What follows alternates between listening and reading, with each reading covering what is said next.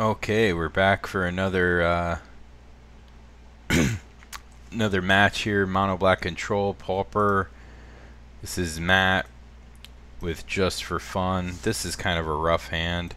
Our Pauper players have all been polite um, so far. Uh, this is kind of a sketchy keep. Um, but two draw spells is nice. If we're playing against Delver, we're just screwed. We're just dead with this hand. So maybe this is a mistake, but I'm going to save the bog since we have enough lands. Excuse me, sorry about that. I know that's probably really, really annoying into the mic. I'm sorry. Okay, Tron. That's not bad. That is quite dirtily, so I'm happy to see that. On the other side, um, hopefully we can draw into some discard.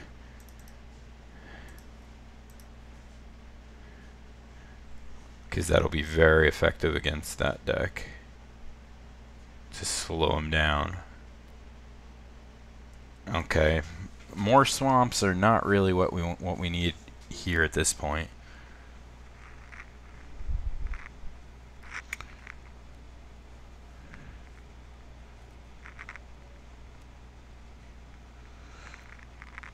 We do have an oubliette for his, uh, you know, marauder or whatever else he plays.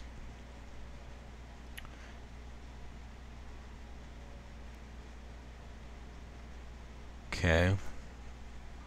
What's he got going on here? Cycle the star for something? No, map. Okay. So he will have a complete Tron next turn. Things to consider.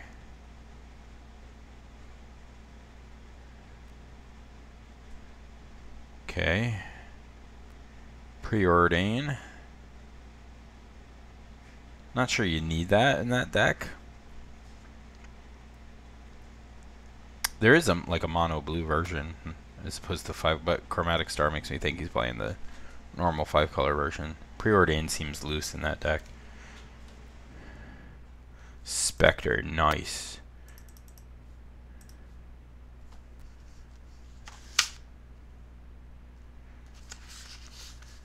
Okay. So now it's a threat that needs to be answered. And he's going to have to discard something here.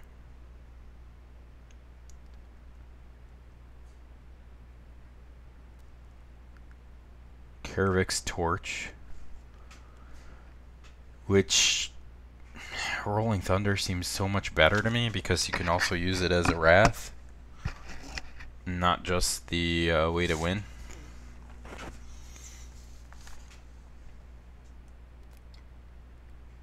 Okay. Fetch out your mine. Which taps for two. Ew! Ew! Unmatching Tron lands! Ew! Does that bother anyone else?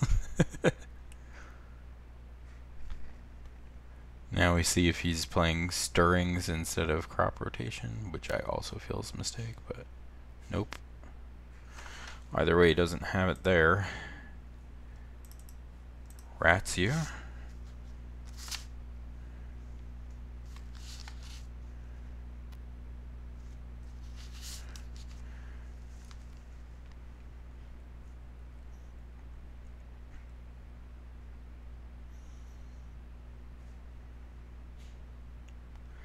Probably getting a little annoyed over there. I know discard frustrates me. It's not fun to play against. Mulldrifter, nice. Nice. That's like he discarded three, really, you know? Okay, alright, now we're drawing into ways to end the game. So we can go Gray Merchant into Corrupt, and that's you know, with the creature damage on the board, that's probably enough.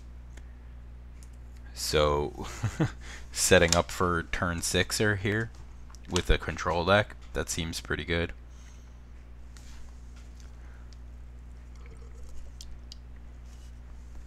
I don't know if we board out removal or what against him. certainly don't want Wrench Mind. Duress seems like it'd be okay. but there's a lot of cantropy kind of BS in there. Not hot on Crypt Rats, obviously.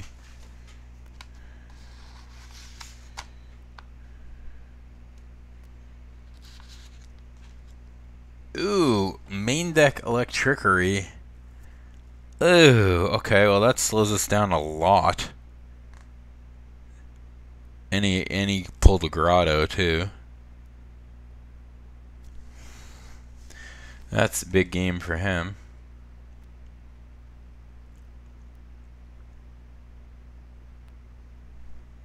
There's the Mulldrifter. He's going to drift in the mall. Um, okay, I'm gonna bog him. Like, I don't play Kariz in that deck, but, you know, it's a card, it's legal, so, you know. Um, especially because here I'm going to be casting Oubliette, so... I don't think he plays main deck enchantment removal, like I don't. So I think that'll be good to go.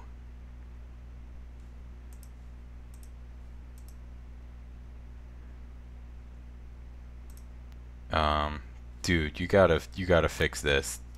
This is disgusting. They should all be the same set. that drives me crazy. Um, just being OCD, like seriously. But but anyway, yeah. So that keeps him from hitting us with the Mulldrifter, and it adds to devotion for our Gray Merchant.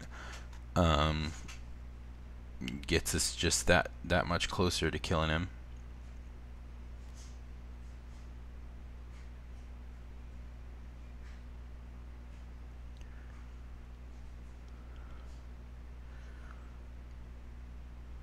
Okay. Opponent notably taking twice as long as us. I mean, that deck does have a lot of decisions. There's a lot of play to it.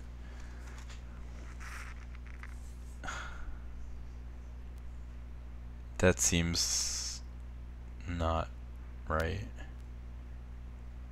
Okay. Red.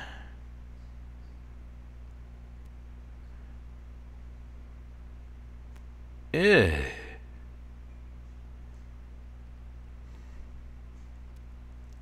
Build is a little different.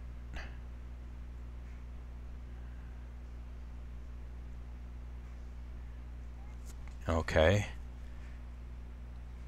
Burn me for an irrelevant amount. I mean, I guess if your plan is to just follow that up with more burn. So Interesting.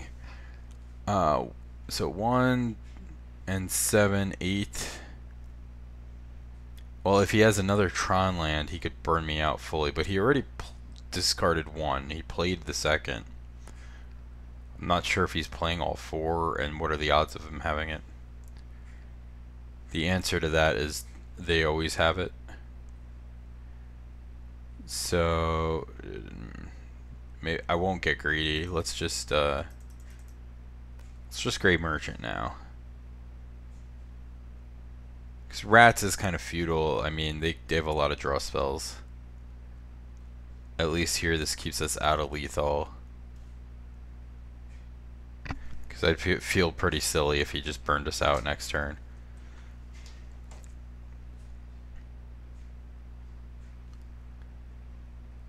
Alright, so that makes things look a lot different.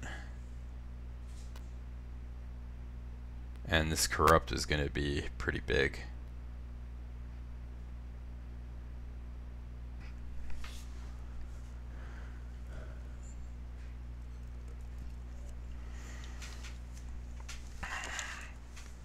I mean, that's the kind of deck that doesn't mind being on the back foot, but we wait a little, our corrupt will be big enough to take out a crusher, which would be pretty cool. If we can live that long.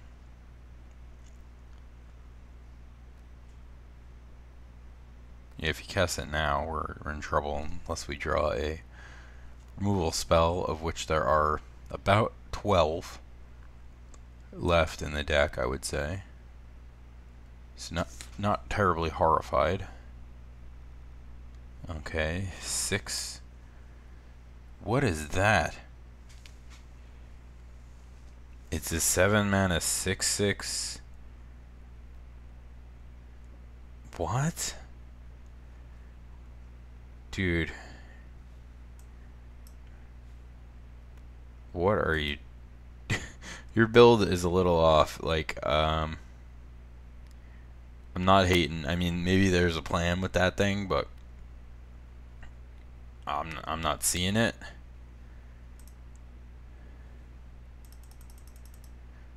So, you know, PM me after.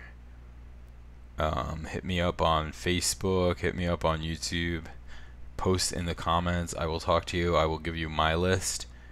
Um, not that I'm the all knowing and powerful, but I do think my list is a little bit little bit better than yours.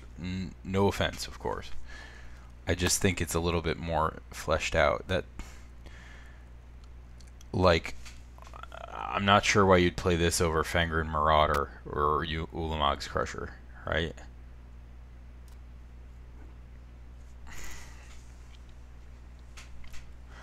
Um, if I can pick up my merchant with Shinobi, that's going to be insane. Usually in that deck, you're playing Firebolt, so um, you know, instant speed removal isn't the best thing. Um, Ephemeron, okay, I mean that sort of makes more sense. It's a decent threat. I mean, it's gonna hold me back now unless I draw something else, but...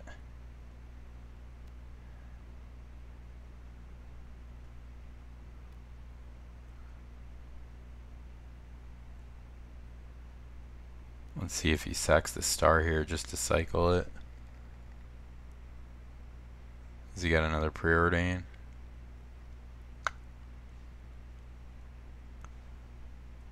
Yeah. Okay. Oh. Uh, yeah, better to be lucky than good, right?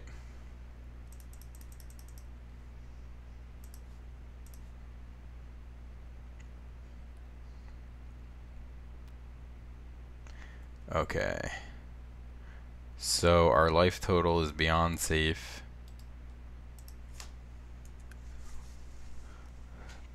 Opponent hasn't outdrawn us by as much as he should with that deck. And we've got these nice cards in our hand.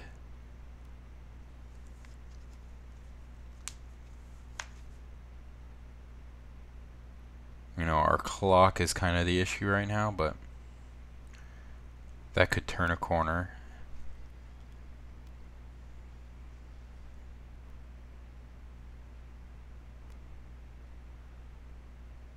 He's gonna just drop another bomb. Okay, Mulldrifter. That's that's gonna help him out a lot.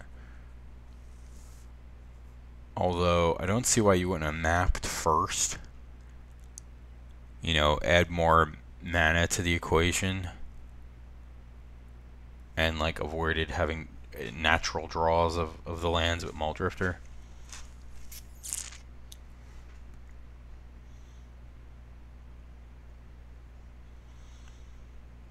Like mapping for an untapped tower drop is positive mana and the thin. So sequencing minor thing, but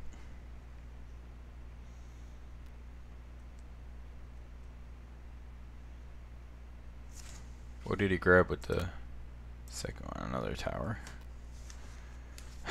Man. Just top decking like a master. I have to say, I, I did get lucky a lot here. But that said, my opponent is giving me a chance to get lucky.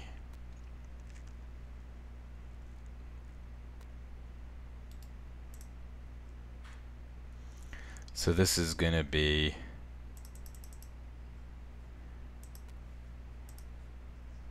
big.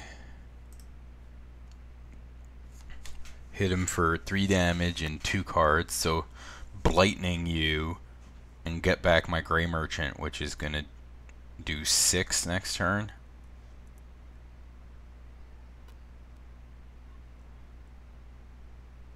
Oh, or I can play Rats into Merchant and just win on the spot.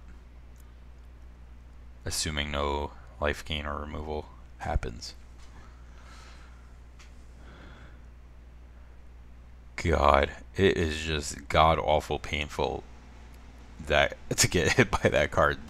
Like that is the last thing you want to happen is to get whacked with the shinobi. like it's blightning every turn.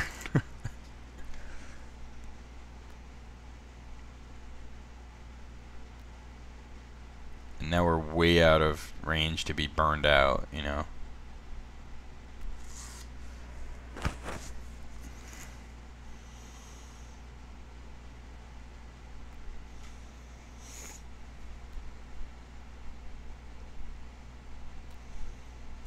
Ephemeron. Okay. Which seems like it would help you stabilize, but... You know, just like big dorks like that, unless they have some kind of something that keeps them from getting killed easily, like, don't hate on me for this, but wouldn't Benthic Giant be better play there? Like, yeah, it's only 4 or 5, yeah, it doesn't have flying, but it's hexproof and I can't just like outright kill it. Um, okay, so rats. Oh, rats.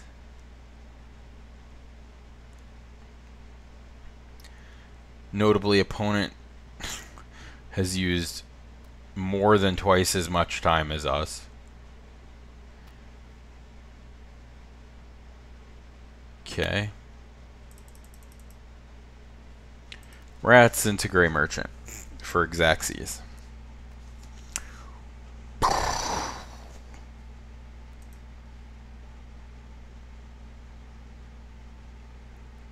And that's game 35 to naught. Yeah, so your endgame threats are not the right choices. Um, Rancid Earth seems great. Echoing Decay is another way to kill uh, Mulldrifter. That could be better than, say, Tendrils, but he does have some big threats there, too. Um, Witches seems terrible. And Don't know, rats is kind of low impact, so we'll cut one of those. Especially against the deck that draws so much. But.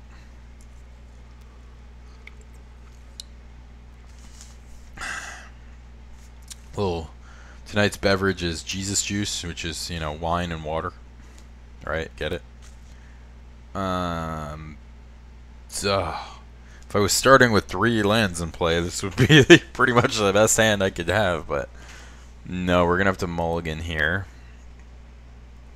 And we're going to have to double mulligan. Okay.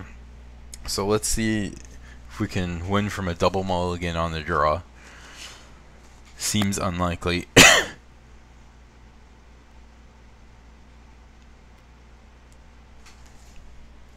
Although our opponent used exactly half his time to lose last game, so there's no way he beats me two running games. Unless he just up and decides to play a lot faster now.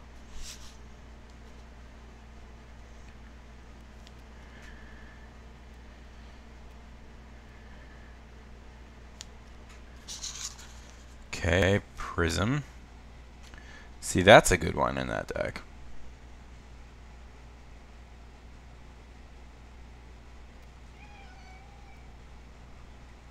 Okay. Nice. Uh, sign in blood. Hopefully hitting another swamp. Yes. Next turn I can... I got a lot of options. I can Rancid Earth to break up his Tron. If he just had the natural Tron here. Which, you know, sometimes they have it. Nope. So then I'm probably not going to do that yet. Um, taking a whole turn off to kill a, a tower or something doesn't seem optimal. I'm going to rats him. Slow him down.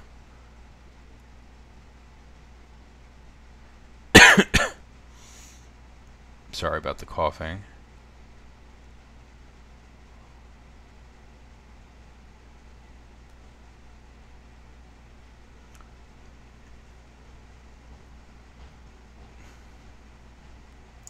I know this match would be a lot more exciting if we were pay playing at a faster pace. But, them's the breaks. Sometimes people are double queuing or they're just real heavy thinkers or, you know, their wife is yelling at them in their ear, whatever is happening, but, uh, oh, he missed a land drop. Okay.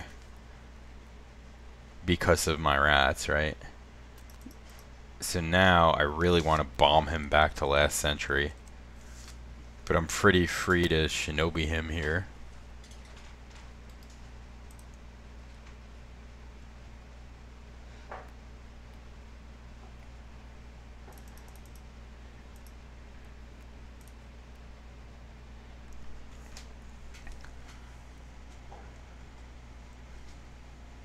I mean, if he if, if he has a removal spell here, he gets me. If not, I just set him way, way back. Yep. And, I mean, that's the kind of deck that can win from the back foot, but here I feel like, bam, we've made up for our mulligan, right? So this deck is just mono card advantage. That's all it is. This is taking it back to the... Okay.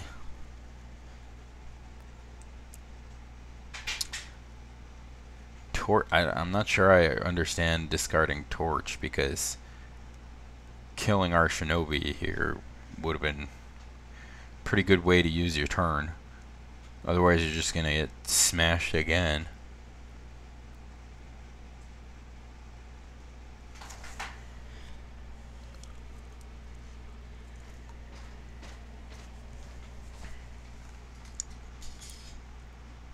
Or do you just have more more removal. Another redundant one. Yeah, redundant one. Okay, that's fine. Sign in Blood would be an awesome draw. Could go Rats, Sign in Blood. Uh, victim is not bad. Let's chitter him again. Chitty chitty bang. Let's slow him down.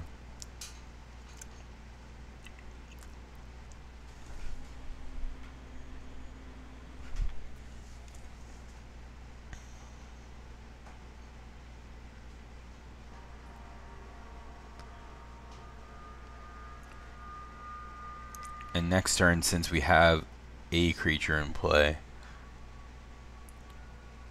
um, tempting to just Rancid Earth his power plant and you know set him way off of Tron, right?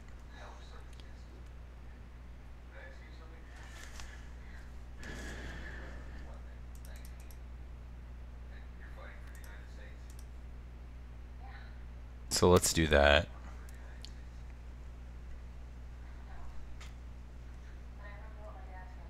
Probably would have been better to play Rager or Spectre or something. But uh, I just feel like griefing him might be a way to get him to concede. and cut this short here because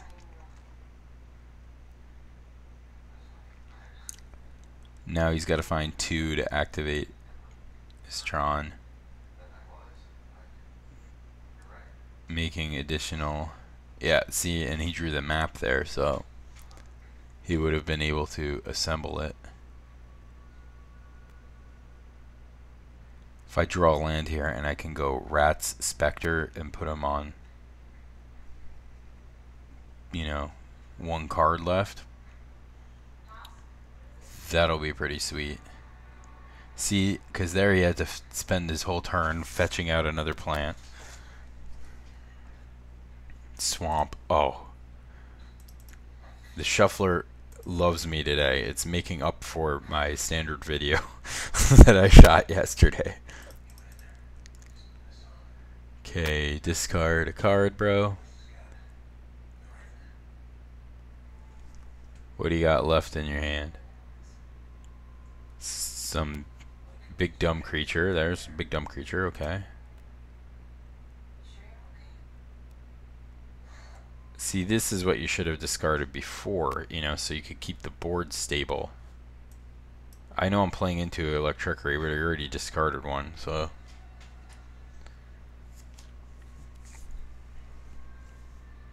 why on earth would you discard that now when it's you would kill two of my creatures? Why? I, I really.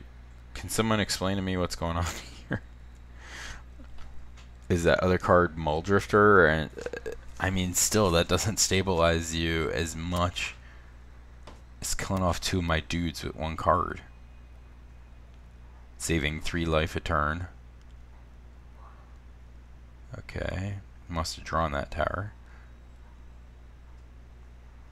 If it's Ephemeron, you can't cast it.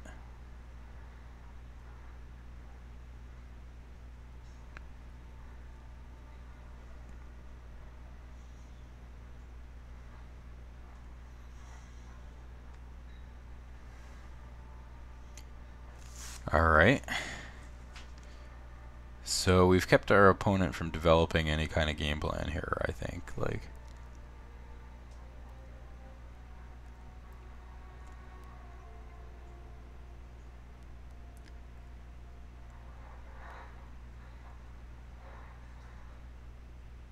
torches me.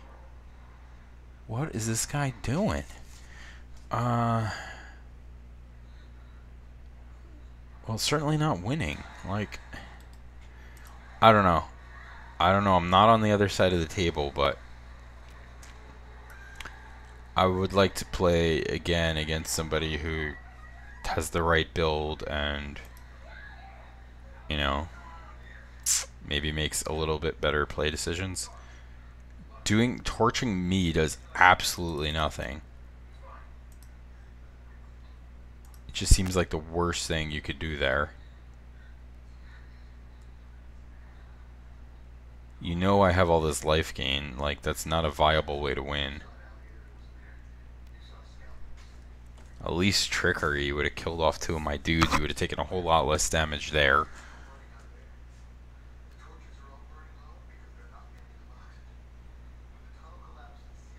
Mulldrifter. Okay. It's not enough. You're still dead on board.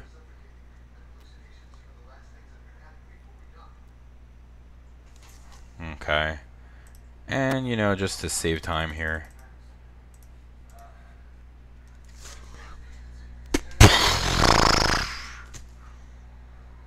So... Sorry, bro. GG's. At least he's gracious in defeat here. Um, you know, uh, but uh, I don't think he played to the best of his ability and his list was not optimal. So hopefully PBXYZ, if you watch this, um, contact me. I'll help you out. Um, but yeah, anyway, well that was fun. Uh, you see what Mono Black Control can do in Pauper. It's pretty oppressive, mean-spirited deck, and I enjoy it very much.